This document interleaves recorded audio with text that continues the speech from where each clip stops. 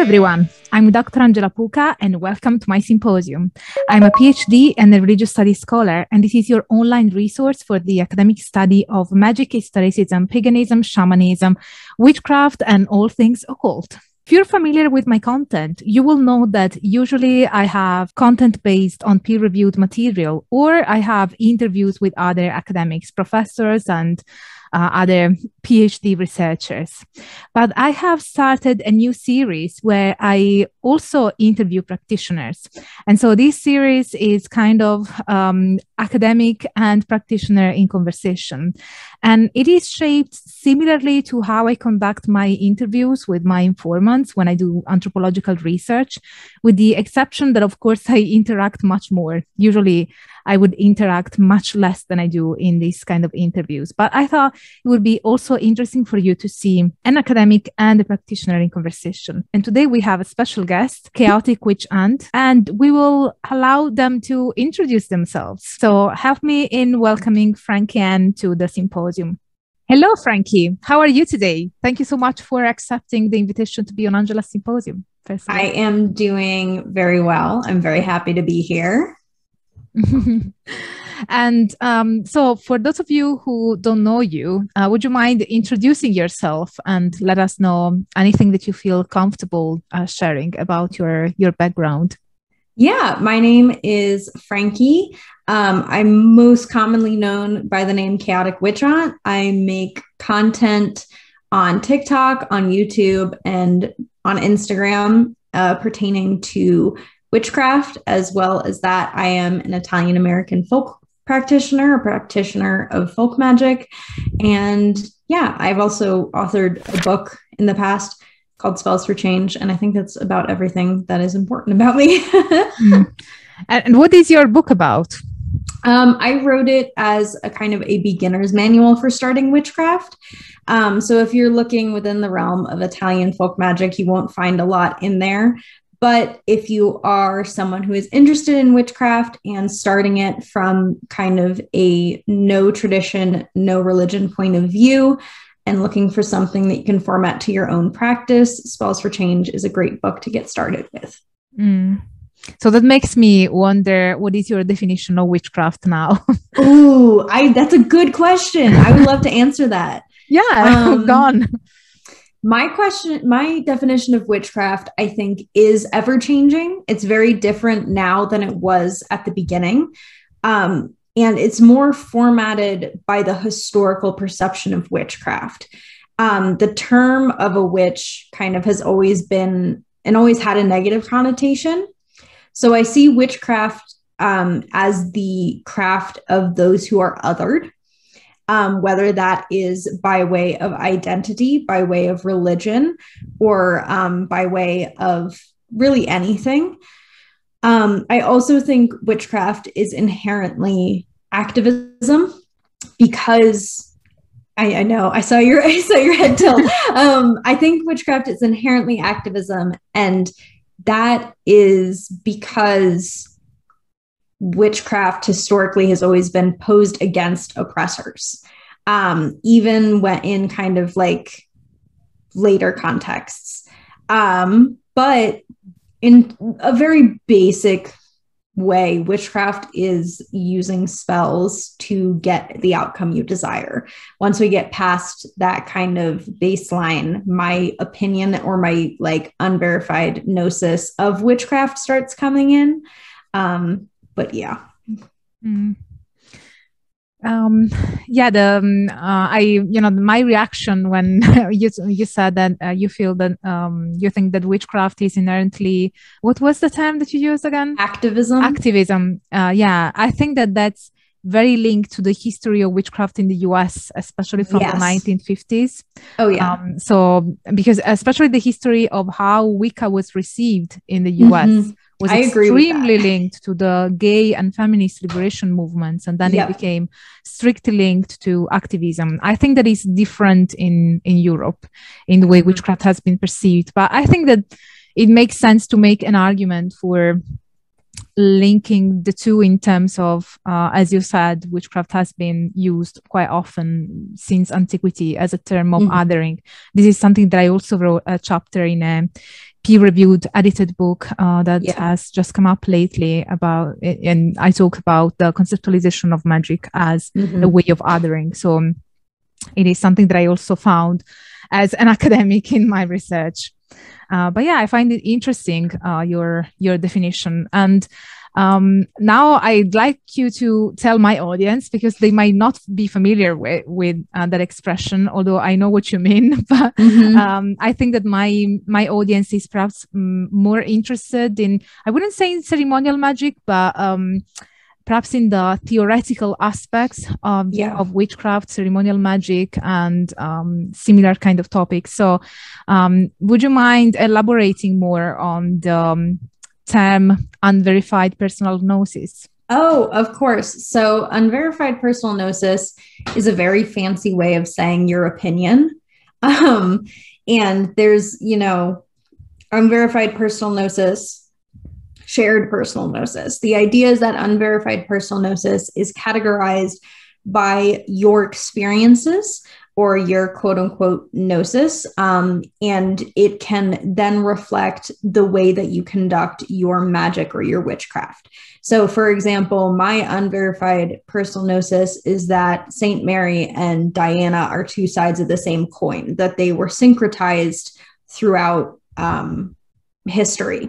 But another practitioner may not agree with that whatsoever. However, I conduct most of my practice through this idea that Saint Mary and Diana are similar or two sides of the same coin. I hope that makes sense. Mm. So it is more based on your personal experience as opposed to, for instance, history or um, something Yeah. that is linked to a specific tradition or linked to a specific historical development. Yes, you can have a UPG or an unverified personal gnosis that has historical backing. Um, a lot of times when I'm looking at my um, unverified personal gnosis or formulating my opinions, I tend to do a lot of research about it because I, I know it sounds weird, but I don't like being historically inaccurate. I don't like taking something and saying, well, this is my experience. And that means it's, you know, true. And I did find some historic some like historical representation of Diana and, Ma- and Saint Mary being syncretized with a specific apparition of Mary. Um, but past that, you know, I've seen people with unverified personal gnosis that, you know, very much lean into the unverified part. I try to lean in more with the like verified personal gnosis of this is, you know, has historical backing. Um, I say unverified in regards to St. Mary and Diana because the research is so shaky and it's me conducting my own research without a methodology and coming to a conclusion. Um, if I was going to go for verified, I'd have to take the approach of probably an anthropology paper, sociology paper, and very much conduct something analytically with a uh, hypothesis, set format, everything. Mm.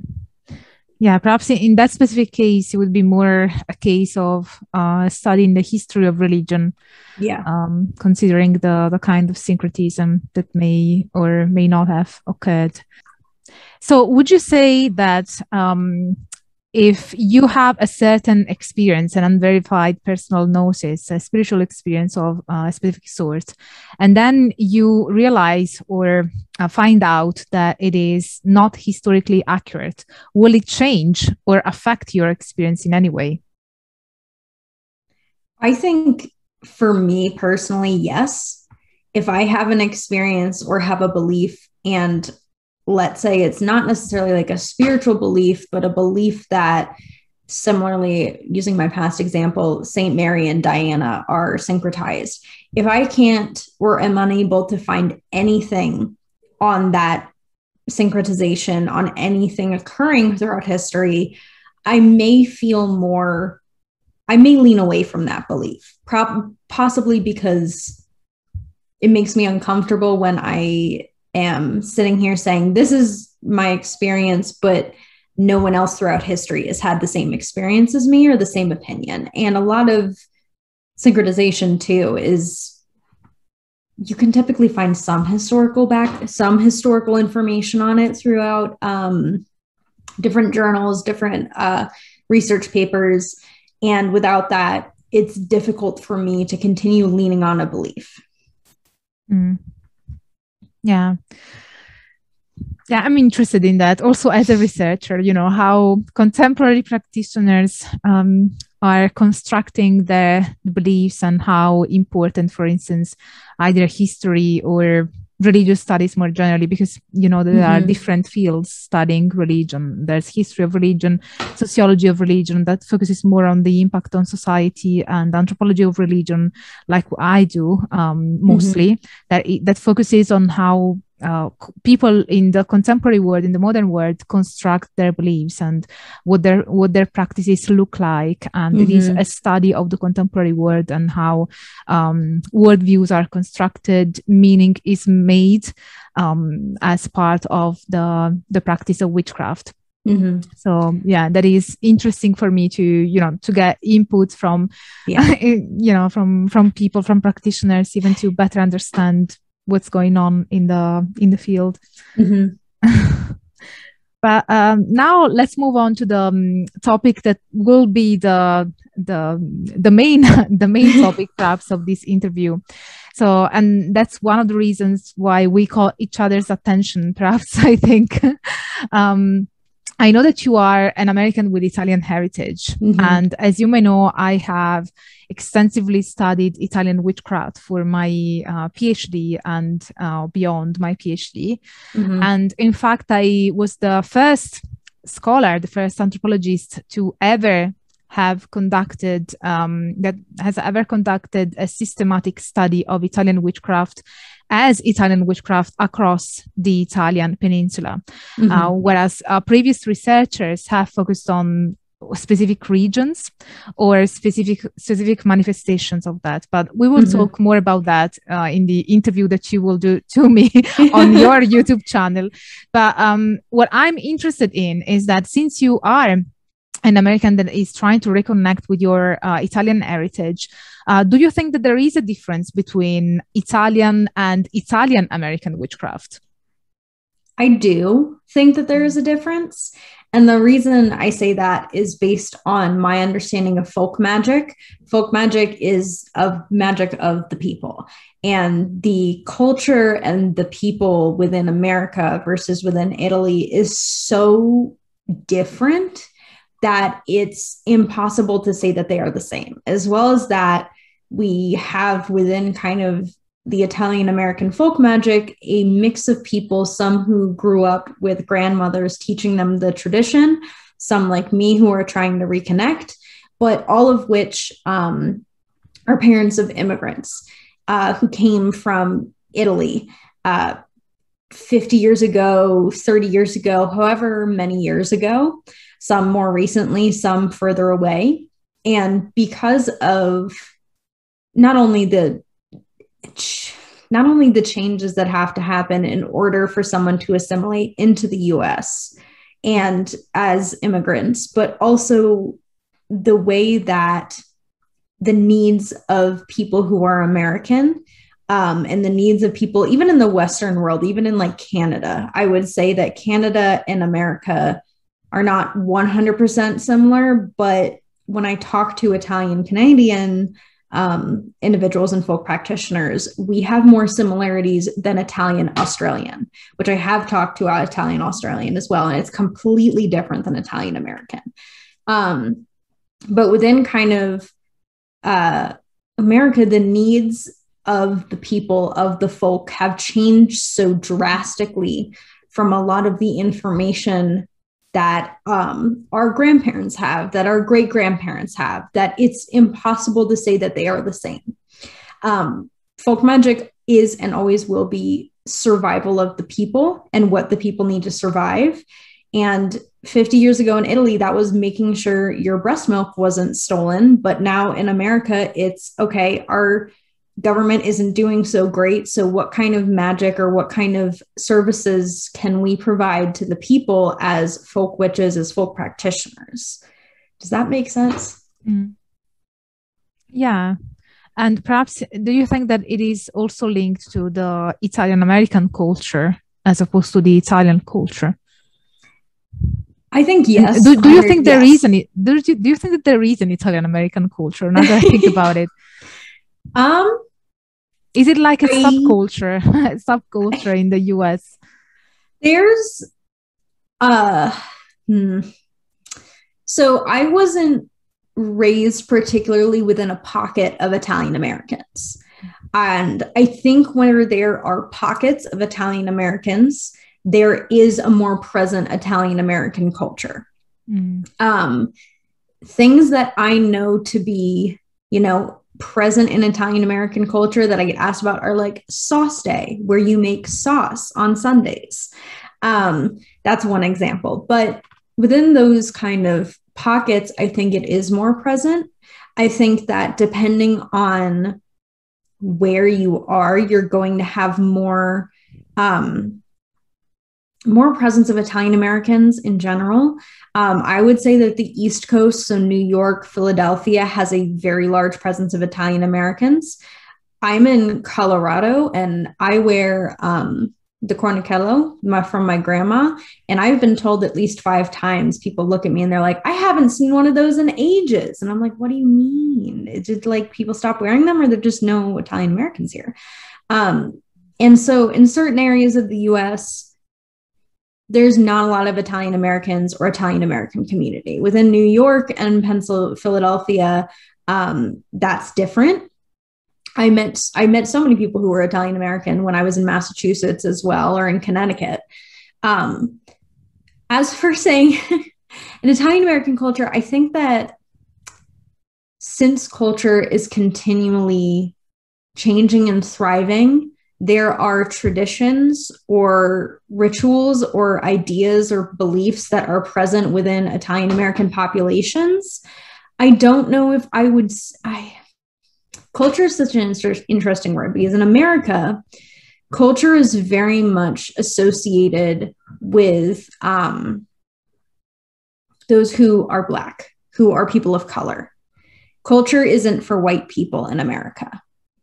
Um, and I say that as white people who have forfeited their culture by way of immigration or assimilation. So, within that context, Italian American people do have culture. I'm just unsure of what it looks like because I was raised in an Italian American family.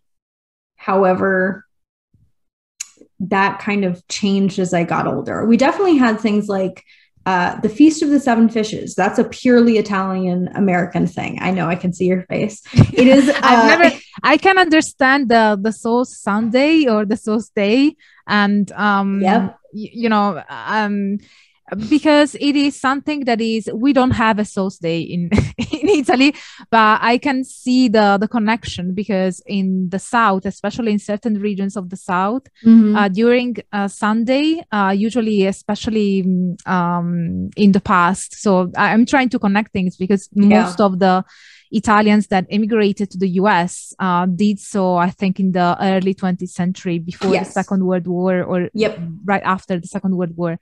Uh, so during Sunday, in certain southern regions, they would uh, cook the, um, something called ragu, which is a, a, specific kind of sauce, and basically would say, you know, piping for hours and hours. So that is mm-hmm. a, a, traditional thing, but we don't really have sauce day, But I can see the connection. Yeah. Whereas with the seven fish thing, I have never oh, yeah. heard That's... anything that could. Feast of the Seven Fishes is a purely Italian American tradition where on Christmas Eve you get together with your family and you prepare seven dishes of fish to oh. eat. So I when I was young, we would go to Christmas Eve dinner with my family who was Italian American and we would have uh like a huge Christmas Eve dinner. Um the Christmas is still within Italian American, especially those who are Catholic, Christmas is still a very big thing. Um, Christmas Eve has importance, and that's kind of marked by the Feast of the Seven Fishes as an important uh, holiday. Christmas as well, still important. What we don't have, and this is, I guess, um, the more Catholic families may have this, but the Epiphany is something that is also not translated as much over into Italian American, at least in my family. And I, of course, I'm speaking from one family in a huge country where everyone has had different experiences. Um, so it's difficult for me to say for sure this is a thing, this is not a thing, because although I grew up with an Italian American family, my mom's left the Catholic Church. I haven't seen that side of the family in years. And it kind of becomes, it, it it's more separate, I think, for me than it is to others. Mm, yeah, I get it. In Italy, there is the tradition to eat fish on, uh, yeah, on Christmas Eve because mm-hmm. there's this big dinner on Christmas Eve, and usually uh, people eat fish, but this one specific fish is not seven different types. so seven fishes, seven. We get. Uh, my mom always makes uh, calamari, which is the little squids. Oh yeah, yeah, yeah. On Christmas oh yeah, Eve. we do that too. We do that yeah. too in, in Italy the um uh yeah let me count maybe it is seven i've never heard of the specific thing of seven fishes but there is a lot of fish at christmas uh, dinner um yeah like there's the um, the, the fried the fried fish and mm-hmm. uh, and then as the because in in italy we have the first course the first course second uh mm-hmm. but no i don't think it's seven we haven't been able to make seven for a while because it's just my mom, my dad, and like the rest of like my immediate family cooking. So we just go for uh, spaghetti and calamari, and that's our Christmas mm. Eve. It's the only time of year where we all get to like eat calamari, which is great. Um, but yeah, I'm trying to think of anything else. Do sometimes I've heard, you know, eating lentils on New Year's Eve to bring yeah. good luck. Yeah, we um, do that in Italy. Okay. They're and, and they're that's usually linked to prosperity. Yeah. The idea to bring prosperity. Yeah, yeah. This is an Italian thing. So some uh, things are like Italian that trickle down, and mm-hmm. some things are purely Italian American. So yeah. it's hard for me to say, oh, it's a it's a it's pieces of Italian culture mixed with things that were purely Italian American, like chicken parmesan was something that Italian Americans came up with.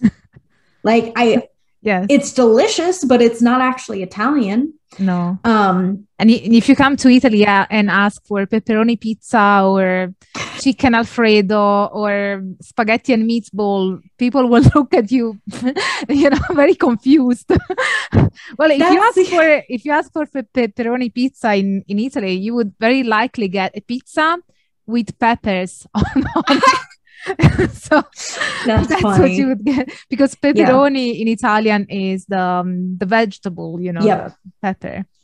So, yeah. yeah, but I think that um, since I I'm divulging my research mainly in English, I've also published in a peer-reviewed journal in Italian, which was great, so that my mm-hmm. research could also be accessed by you know by Italians. But uh, since my research uh, and my my talks and at conferences i mainly speak in english because i'm working for a university here in the uk mm-hmm. i get a lot of attention from italian americans yeah and um, I never studied as a researcher, as an academic, Italian American witchcraft per se, or the mm-hmm. perception that Italian Americans have of Italian witchcraft. Yeah.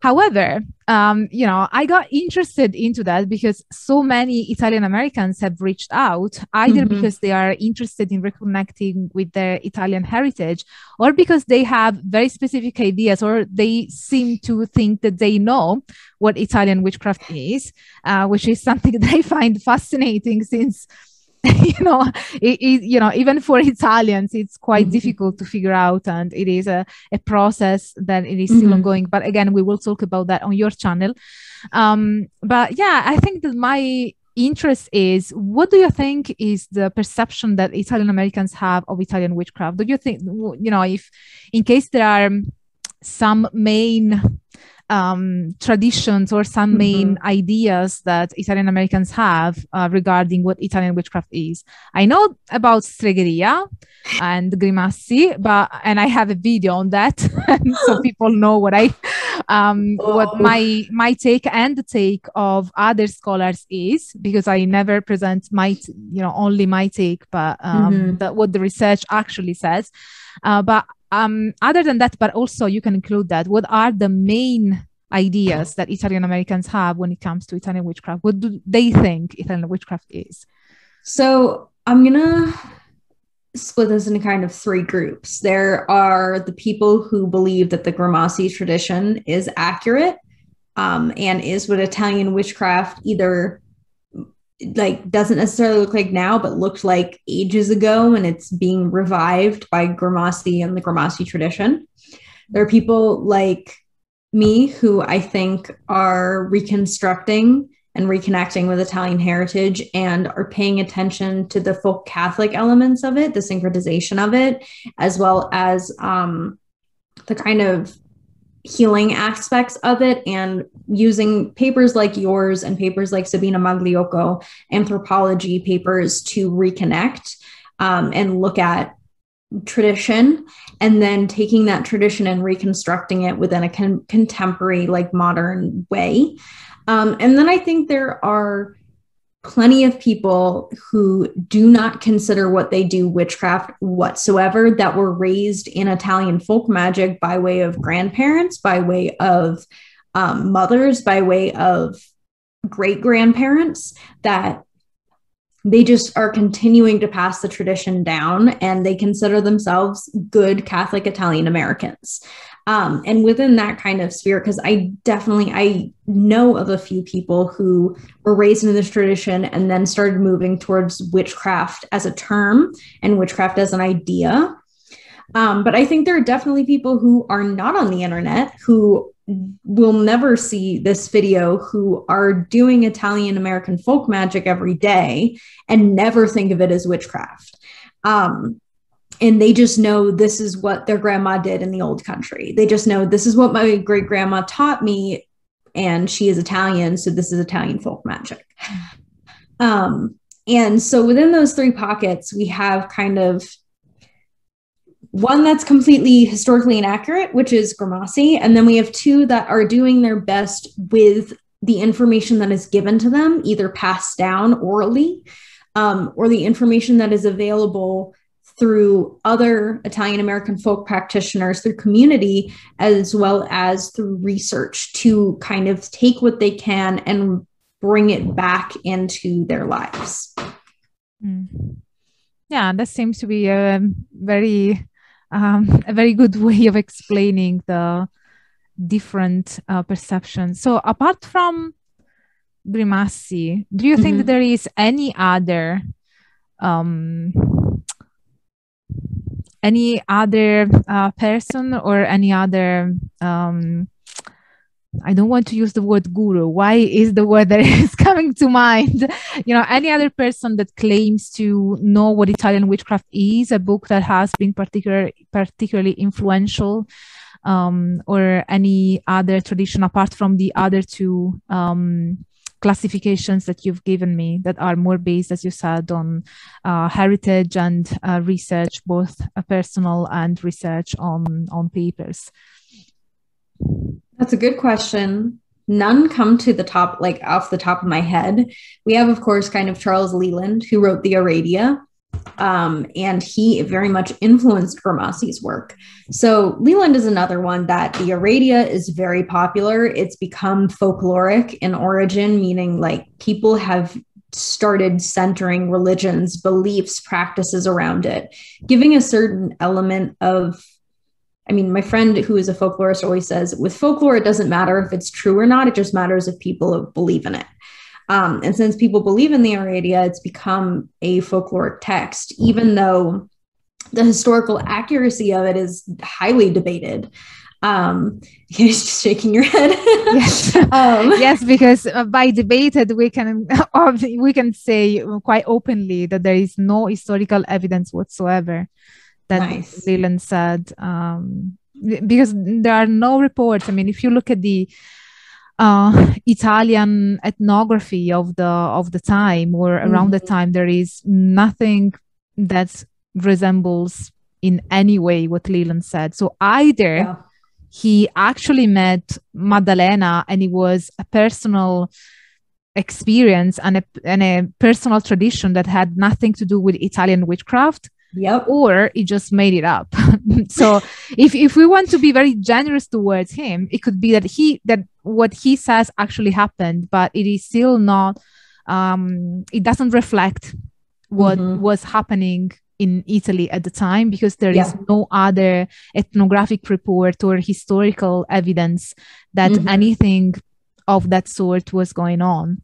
Yeah. Um, and that was um yeah it was in tuscany that he was. Yeah. Yeah. So which no. within that i know of people who say that their grandma taught them the witchcraft that came from the aradia and that it was in within a family. And i'm like okay cool. Um, I'm not here to debate what your family does. I am, however, going to start telling people that Leland is historically inaccurate because I have been saying highly debated for so long, and I'm very happy that I can say historically inaccurate now. Now, um, but within that, Grimassi is definitely the big one. Um, so much so that I actually had a conversation with another friend, another content creator, an American witch who is Irish American, um, because I said this person, someone asked me for resources on Stregheria. And I said, that's not my, that's not what I study. I'm not going to be able to provide you with a lot in that area. And my friend was like, wait, I'm confused. I thought Stregheria was the term for Italian witchcraft. And I go, okay, hold on. And I rattle off, this is what Stregheria is. It's been used for ages, but it's not historically accurate. No one in Italy actually uses it.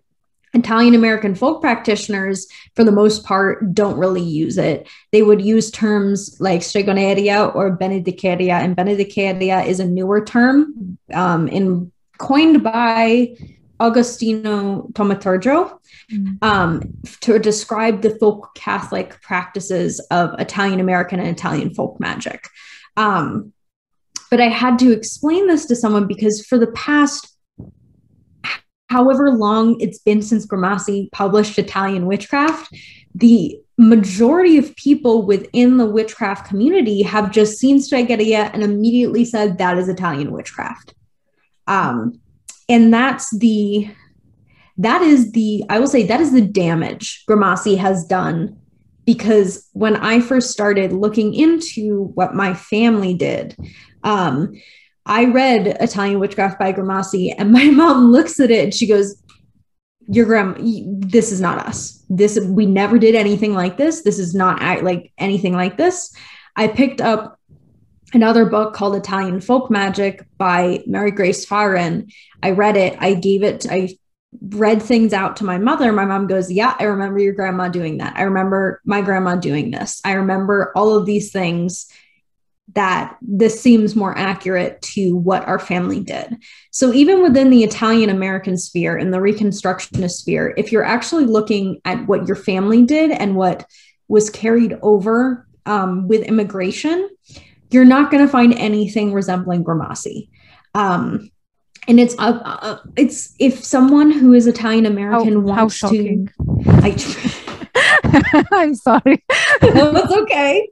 Um, if someone wants to go into the Grimassi tradition as a new tradition, as an Italian American, that is their prerogative. That is their choice. I understand that because it's more pagan and packaged as more pagan, more more neo-pagan, I will say, than what we actually see, which is folk Catholicism blended with kind of older beliefs and older healing methods. Mm-hmm then that's their choice. I'm not going to stop them from doing that, but it is not and never will be Italian folk magic or Italian American folk magic.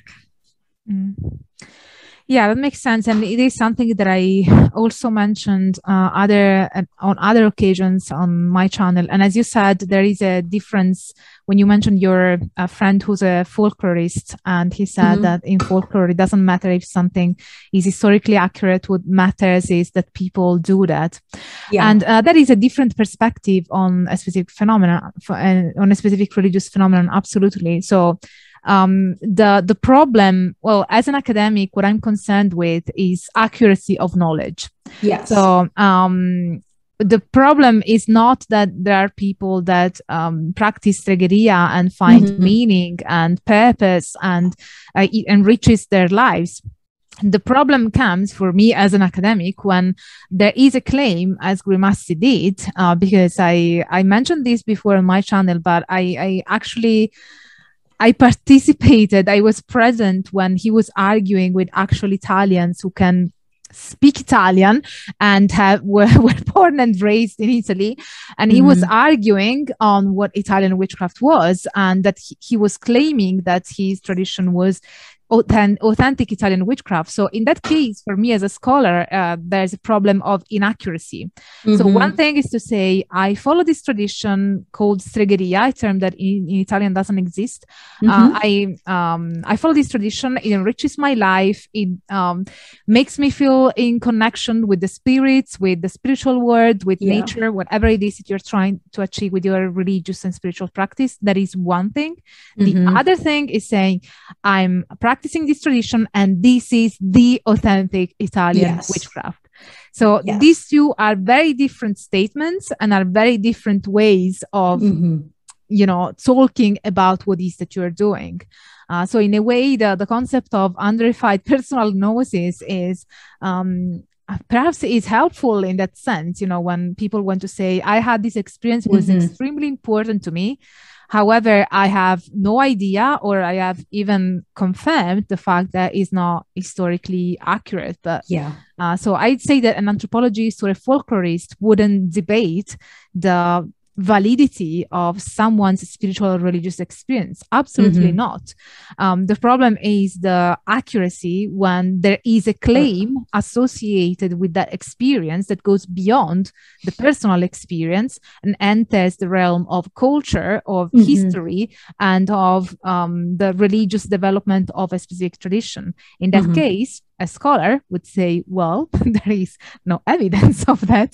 so uh, that's the that's the issue. But I always say, since I, as an anthropologist, I study, you know, I um, get my hands dirty and I participate in rituals and I, I stay with practitioners. So I know how important things, you know, practices are to people. So I would mm-hmm. never, you know, try to insult or denigrate anyone's experience. Mm-hmm. So that's why I always premise I have nothing against people that find um, any spiritual religious benefit from practicing mm-hmm. stregheria. It is just that as a scholar who has studied Italian witchcraft, I can confirm that you know there is no evidence or grounds to say that that is the authentic Italian witchcraft. It is a, mm-hmm. a new religious movement yeah. So that's the the matter. But i always you know want to uh, be empathetic towards practitioners. That's my point. I, I do agree with you too. I think the issue is when someone says this is the authentic italian witchcraft and it's not historically accurate. And i think grimassi saying that has caused the ripple effect of everyone thinking that Stregheria is historically accurate, or at least is what Italian witches do.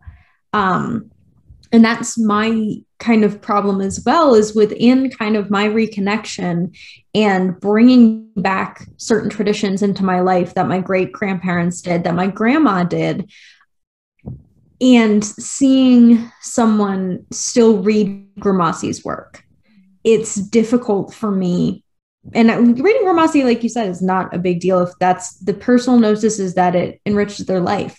But for someone to say that Grimassi is still historically accurate, that is the problem in and of itself. Yeah. Um, also, um, I, I know that you touched on it a bit earlier, but I was wondering uh, what is your the methodology that you use to inform and construct your practice? Do you base it on sources, sources, your direct experience um, a mix of both. Do you give more importance to do you give more importance to one as opposed to the other? I'm just curious to know how you inform your practice as a practitioner of italian american witchcraft folk witchcraft, folk witchcraft. So um, a great question. Uh, i would say it's a mix of both although i do tend to rely more heavily on sources. Um, i tend to read a lot of academic journals. I because there aren't a lot of, you know, books that are non-academic published on Italian folk magic, which I'm okay with. I like reading academic sources. Um, but I tend to do a lot more research than I do like I'm vibing with this and this is correct. I think I've had a couple experiences where we'll say like call it intuition. Intuition told me to do a particular spell when I was doing workings with my ancestors and I later got confirmation that that spell is present in uh certain like families of Italian folk magic because my friend who is Italian Canadian was like, we have almost the exact same spell in our family with this stuff. So that's kind of where my direct experiences happen is sometimes I do things out of intuition and later I will get confirmation that that is something that is actually done or was done in Italian folk magic or maybe is present in Italian American or Italian Canadian folk magic. Um, I tend to not have as many of those experiences as I think uh, my platform thinks. I'm very, I'm very logical. I'm very research driven. And that is because um, that's how, I mean, that's how I love learning. And I don't necessarily want to do something from my intuition and then find out that it's yeah no it's not at all historically accurate um, or get wrong information historically inaccurate information and i think being friends with like a folklorist and um, people who are very driven by reconstructing uh, old traditions has influenced the way i interact with reconnection i try to find things that do have historical backing or traditions that existed at one point in either close to or in the region my ancestors were from. And I work based off that to reconstruct because I will never be able to completely be 100% an Italian folk practitioner because I am not just Italian, I'm also American. Um, and even then, uh, it's going to take years for me to be fully within a practice that feels like it's you know natural and completely reconnected and working within the basis and understanding of both the traditions of Italian folk magic that my great grandmother did and my current practice. Mm. Yeah, thank you. That was yeah. a very exhaustive answer.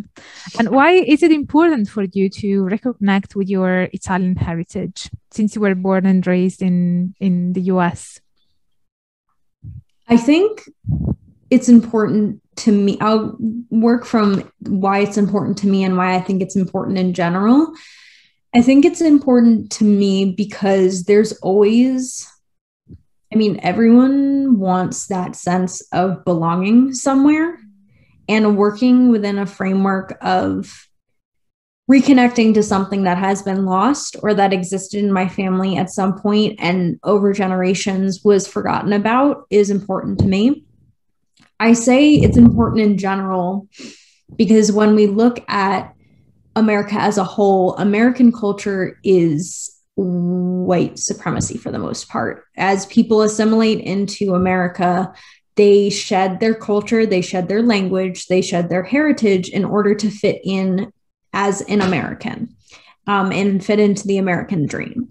And I think part of desettling or decolonizing is reconnecting with what has been lost and moving past the American culture that focuses on whiteness and able bodiedness and thinness and heteronormativity and move into um, something older that has uh, was lost through assimilation or immigration.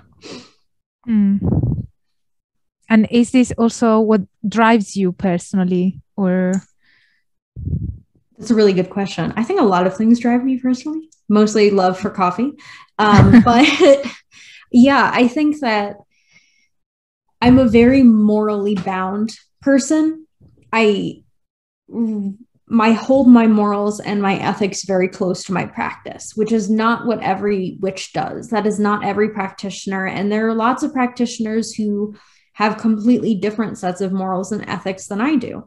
And I think because of the current climate in America and the way that our country is behaving and the way we are heading, um, with the exhaustive list of people of color who are, you know, being killed every single day or disappearing, it is impossible for me to exist in a place of privilege with a platform and not be very um, driven by the want and the need for everyone to receive, to not be existing in like a hellscape.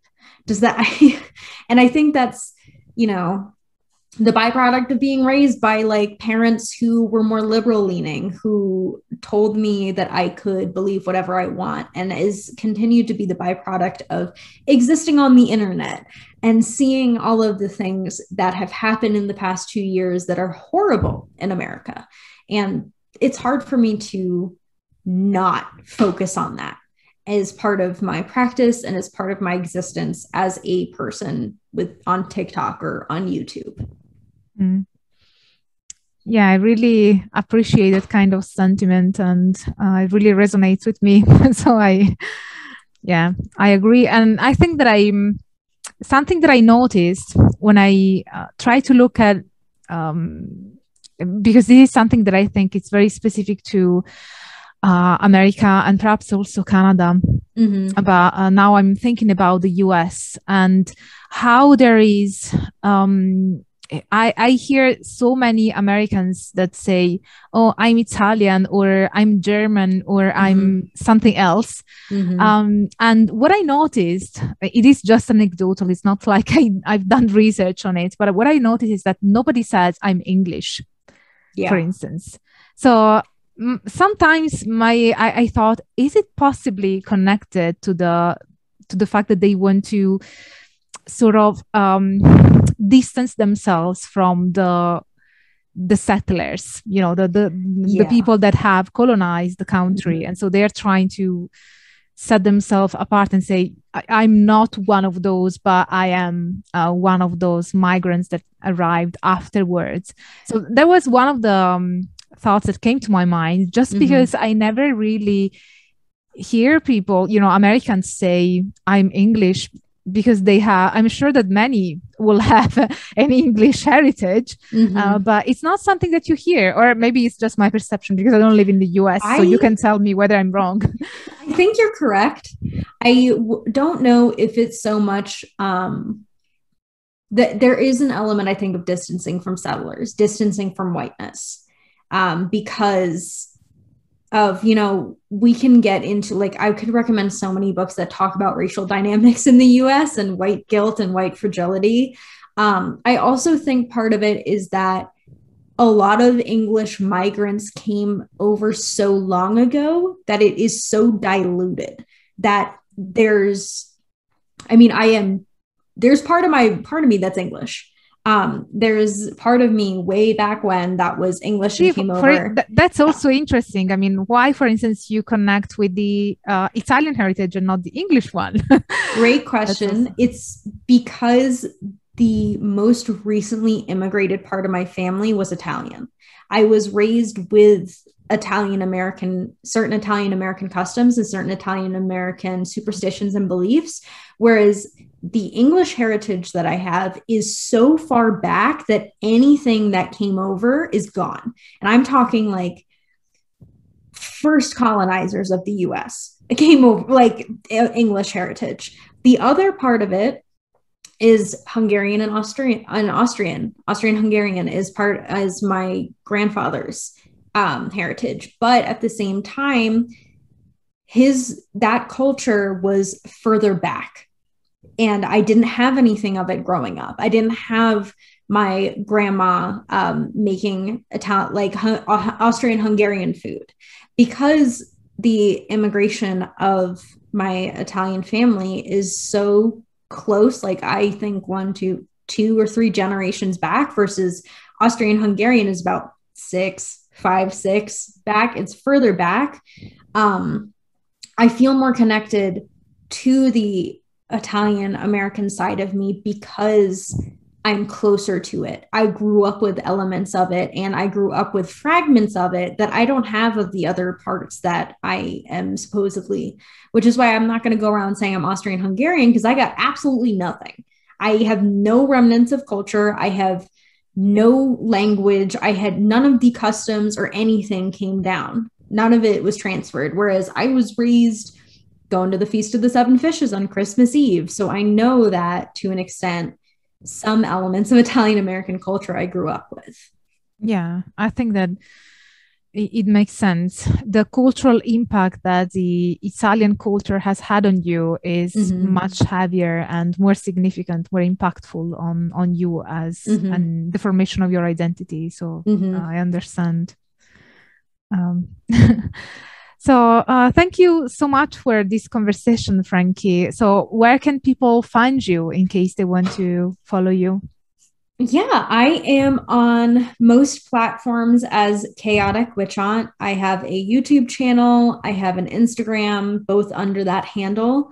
I also have a TikTok if you really want to go find that. I don't do a lot on TikTok. I kind of just make funny videos. That's also Chaotic Witch Aunt.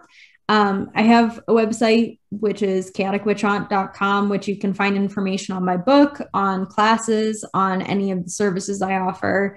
And other than that, I kind of just hang about. I just do things. Thank you very much for uh, coming on the coming over on Angela Symposium, Frank, Frankie, and I hope it was a pleasant experience for you too. it was wonderful. Thank you so much for having me. yeah, and uh, all of you guys watching this video, uh, go over to um, Frankie's channel. I will put a link somewhere here uh, so that you can also watch the interview where I'm the one who's getting interviewed on Italian witchcraft. So hope you watch that one as well. And uh, thank you for uh, sticking uh, up until the end watching this video. Sounds great. Bye. Bye. I hope you enjoyed this interview.